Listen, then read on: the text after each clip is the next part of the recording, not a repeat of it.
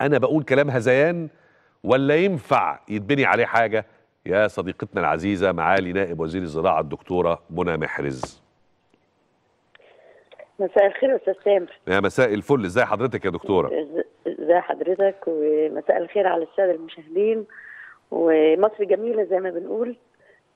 بأبنائها ومشروعاتها الجميلة اللي إحنا فتحناها امبارح وافتتاح السيد الرئيس امبارح. صحيح صحيح. اللي أنا بقوله ده يا دكتورة هذيان ولا ممكن ممكن نبني عليه حاجة كويسة؟ لا ممكن نبني عليه حاجة كويسة. لأن أنا عايزة أقول أكثر من مثال الفترة اللي فاتت إيه اللي تم؟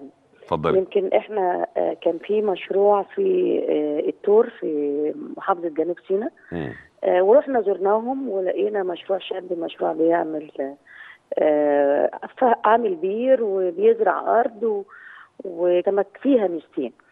الميزة الأولى إن إن الأرض بتبقى فيها مادة جيلاتينية بتمنع تسرب المياه في في الأراضي الصحراوية. تمام. وبالتالي بيقل تسريب المياه وبالتالي بيقل استخدام المياه أو إهدار المياه في عملية الري.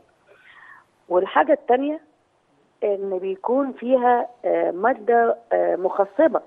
بدل ما أنا بشتري كيماويات للتخصيب أنا بيبقى عندي تخصيب آه، عضوي طبيعي وده بيقلل استهلاكنا من المخصبات الكيماوية. مظبوط. دي دي حاجة آه، عملناها في آه، جنوب سيناء.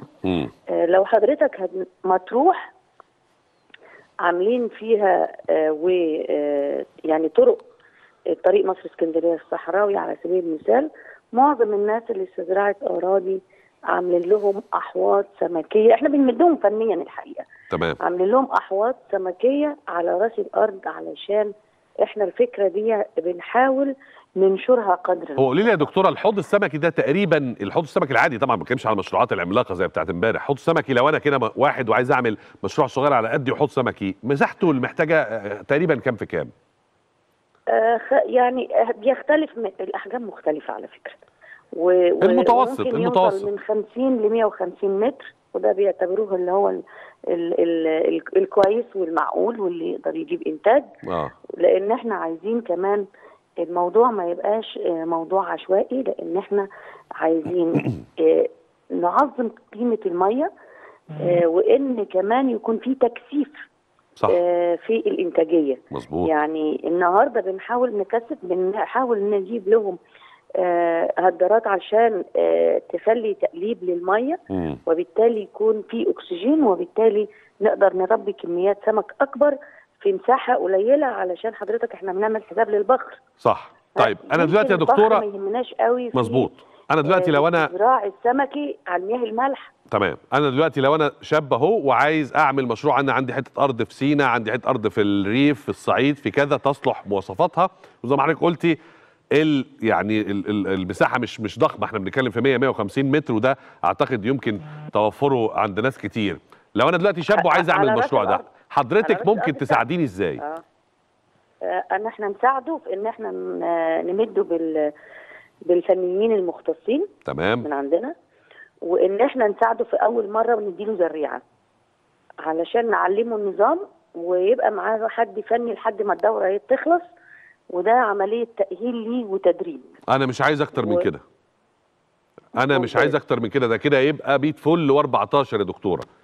أنا عايزه أقول لحضرتك حاجة يا أستاذ تامر. إحنا لأول مرة السنة دي إحنا آه، محافظة الشرقية إحنا عندنا مفرخ تبع الثروة السمكية في العباسة آه، عملنا مع السيد المحافظ إن إحنا مدينا كل أراضي الرز بالزريعة علشان آه، حاجتين.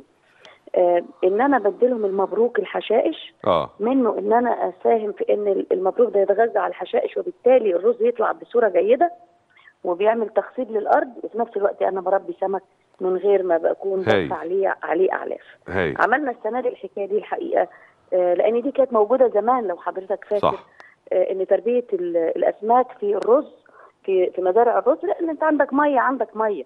صحيح صحيح وده صحيح. التجربة دي اللي إحنا عملناها السنة دي في محافظة الشرقيه طيب، يعني ده إحنا كلام- بنحاول نلاقي سكك إن إحنا نزود إنتاجنا السمكي آه، في أي مكان نقدر يعني ندعم. ده كلام محترم جدا جدا جدا. بشكرك شكرا جزيلا دكتورة منى محرز نائب وزير الزراعة للثروة السمكية والإنتاج الداجني والحيواني.